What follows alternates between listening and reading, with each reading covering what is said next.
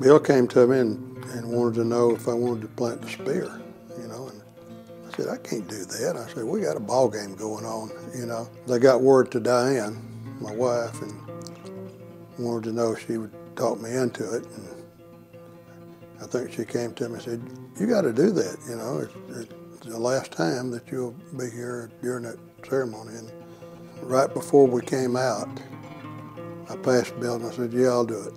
You know, we're all, we were always on the sideline waiting for Renegade to uh, come up to midfield. He gets off his Renegade and comes over there and hands me the spear. I really didn't know what to do other than just raise it up and, and strike it to the ground. Uh, but before I did it, uh, you know, I did the, the little pump up with it and got one side going and then turned around to the other side and then just let it fly. I don't know why, but uh, it seemed to be a little more hair raising to me than it did when I was on the sideline for the game. It was quite an experience. And I think a lot of the players got excited about it and enjoyed it too, but uh, something I'll never forget.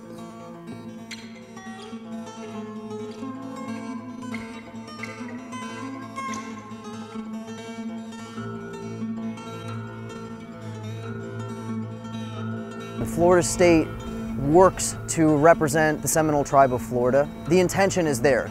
The spirit is there. It's more of a respect to the Seminole tribe of Florida and it's, it's something that you can appreciate when Florida State works with the Seminole tribe of Florida to ensure that it is a somewhat accurate representation of their culture, of their tribe, uh, and, it, and it speaks to what Florida State is trying to accomplish in that sense as well.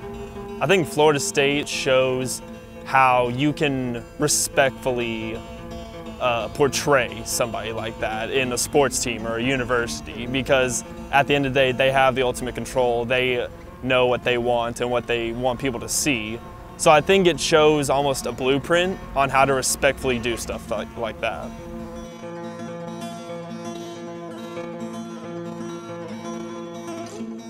Coming down here, I knew no one here. But that moment when I was at my first football game. That moment when Osceola and Renegade with the flaming spear ran to midfield and planted it, something a moment that I had heard about for a long time but never really witnessed, that was when I knew that I found a home. And that was when I knew that I would have a home and have a place to come back to and embrace and that would embrace me and something that someone alongside me that I may not know, someone across the stadium that I may not know, I have that unity with them and I'll always have that.